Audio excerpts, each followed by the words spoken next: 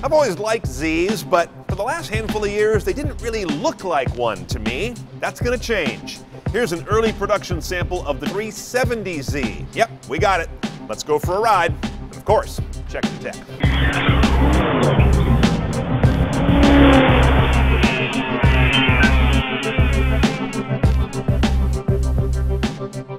First of all, big news inside. The old Z, the 350, got a lot of knocks for having a tacky interior. Big improvement here. First of all, it's more business-like. There's less garish sort of plastic.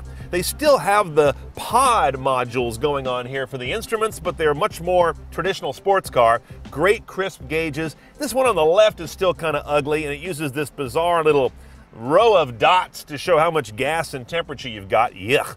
Up here, classic Z stuff. This is the most harkening to the original Z of all the modern cars. Now, this is where our nav system would go, but of course, in this very basic car, it's a storage binnacle. But again, nicely done.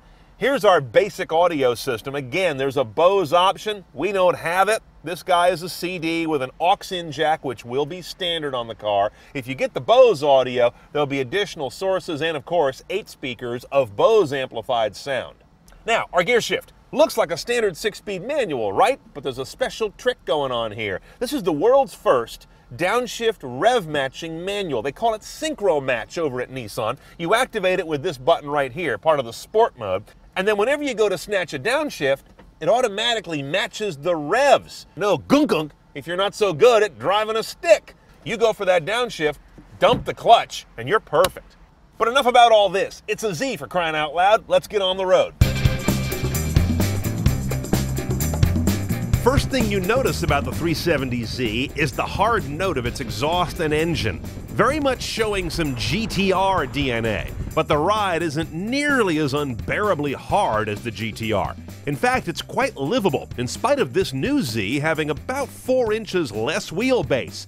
If anything, I'd expect it to kind of porpoise more, but nope, it's surprisingly compliant. Power comes from the new 3.7 liter V6 that is now Nissan's top motor of that type. It delivers 332 horsepower and 270 foot pounds of torque. 0 to 60 in about 5 seconds. The throttle response is calibrated to be moderate in the upper part of pedal travel and then really come on in the latter half. Nice and livable.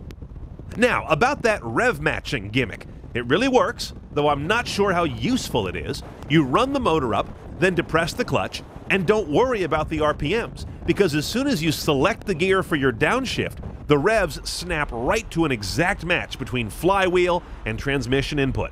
And while Nissan doesn't seem to mention it, I swear it also works on upshifts. And at really low RPM, like from a start, this feature doesn't seem to do anything at all. So it's not there to help those who never really learned how to get a manual car off the line smoothly. Okay, let's price out the 2010 370Z. Now, early production car here, so I don't have the hard numbers, but I can tell you this. Base, right around $30,000 even.